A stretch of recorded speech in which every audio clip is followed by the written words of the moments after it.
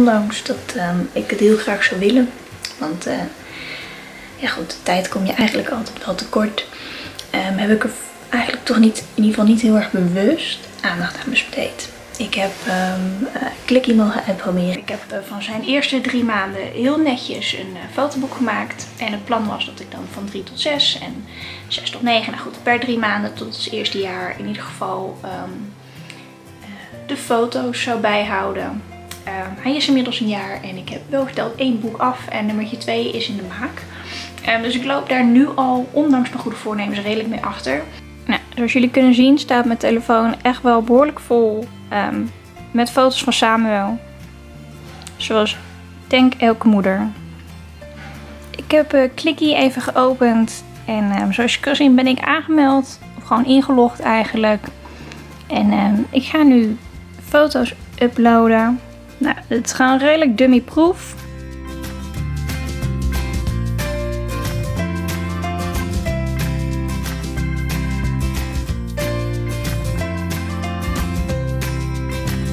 helemaal top. En ik ben echt super benieuwd om de foto's straks allemaal thuis te krijgen en um, hier een mooi plekje te kunnen geven. Deze hele zoektocht gaat natuurlijk over onszelf opnieuw ontdekken of dingen anders inregelen. En daarbij mogen wij van alles uitproberen, zodat jullie dat niet meer hoeven te doen. Of juist wel natuurlijk. En daarbij heb ik nu echt gewoon iets super leuks dat ik mag uitproberen. Het is nog gewoon, ja, super super leuk. Um, iedereen kent Zalando, groot kans dat je er ooit wat hebt besteld.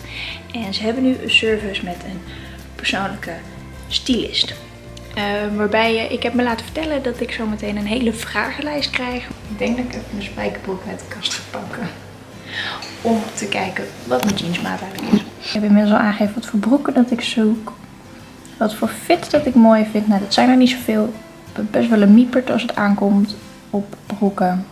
Nu eigenlijk gewoon de allerbelangrijkste vraag. De schoenen. Hij is besteld. Ik ben echt super benieuwd wat er allemaal in gaat zitten. Ik ben benieuwd wat ze ervan gaan maken.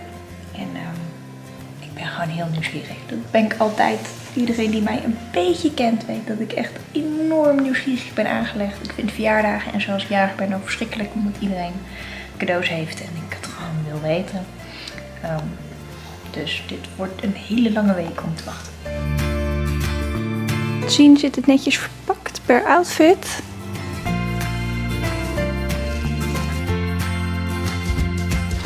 Met een brief van mijn persoonlijke styliste Noortje. Um, met de outfits bij elkaar gezorgd. Ik uh, denk dat we maar gewoon gaan passen.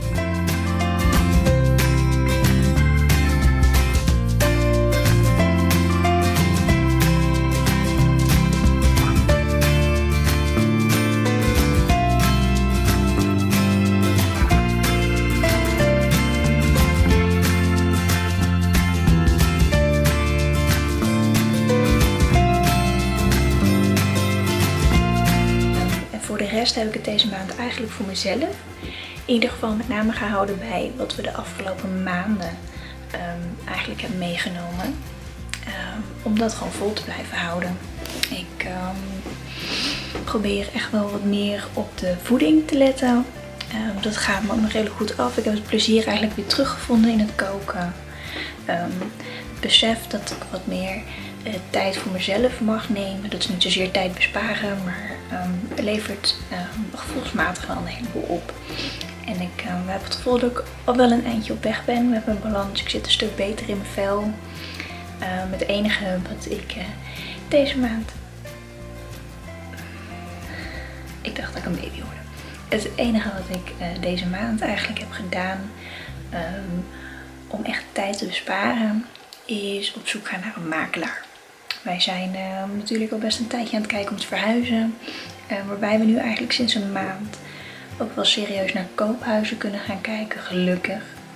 Um, want nou ja goed, het is sowieso niet de ideale tijd om als starter de markt op te gaan. En um, als je denkt dat kopen erg is, is echt de huurmarkt is echt verschrikkelijk.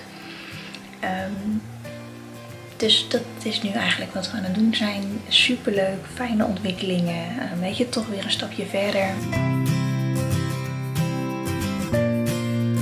Ik heb uh, mijn les van vorige maand uh, ter harte genomen. Dat ik af en toe wat meer tijd voor mezelf mag pakken. Ik ben lekker naar de kapper geweest. En um, we hadden twee verjaardagen gisteravond. wat ook betekende dat we, nou ja, moesten oppas hebben. En Samuel is voor het eerst uh, blijven logeren.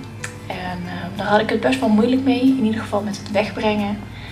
Um, ja, een beetje net zoals wanneer je hem voor de eerste keer wegbrengt om überhaupt weg te gaan. En nu uh, ja, het idee dat hij ergens anders slaapt en dat als je s'avonds thuis komt dat hij er niet is. Dat uh, vond ik echt wel, had ik echt wel moeite mee.